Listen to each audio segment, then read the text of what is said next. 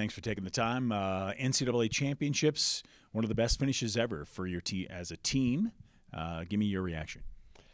I feel good. It was a good competition for us, uh, second best uh, in the fencing history, therefore. So can't complain, but also I always will ask for more. We could have done always better. As if it's not the first, you always can say it could have gone better. But as of right now, I'm very happy with where we stand, the progress that we've done. Um, last year we finished 16, so that was a good jump for us. It shows the progress and the growth that we have. So very, very pleased with the result. Yeah, Fantastic finishing 11th this year. Let's talk of Josie and Matt, their last time at the NCAA championships. Josie's so close again to getting an All American. Just talk about those two as seniors. Yeah, uh, for uh, Matt, it was uh, it was hard. There was a, a lot of close bouts, and uh, he was focused. He was fighting very, very hard. It's not a new thing for Matt. This is his fourth time, so was watching him. He was managing well. But we struggled a little bit in few bouts that deprived us from the title, and uh, he fought hard.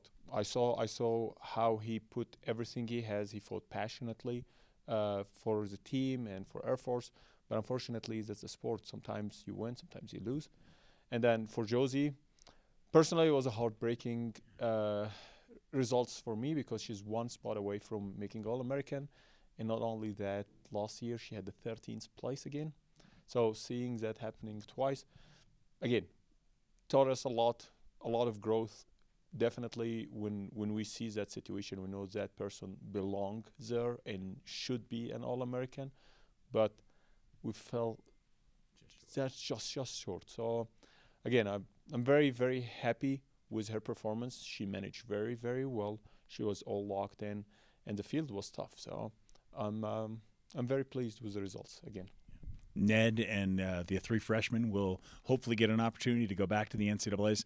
I, am assuming you want to build on this. You want to finish higher than 11th. You want to take maybe even some more fencers.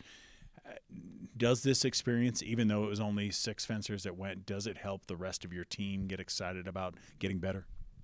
Absolutely.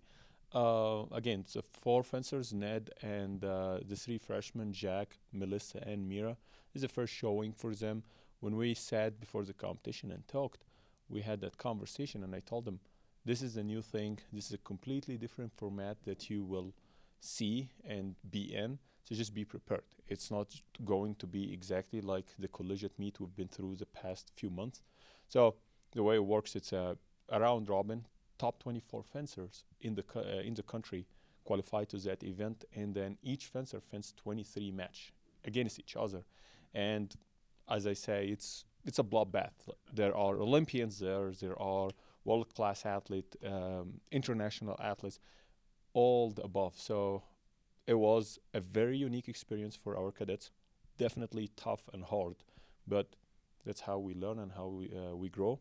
I'm hoping and expecting that these uh, uh, freshmen and Ned hopefully to repeat that uh, accomplishment and qualify again next next year but then they are carrying the experience. They know exactly what they are coming upon.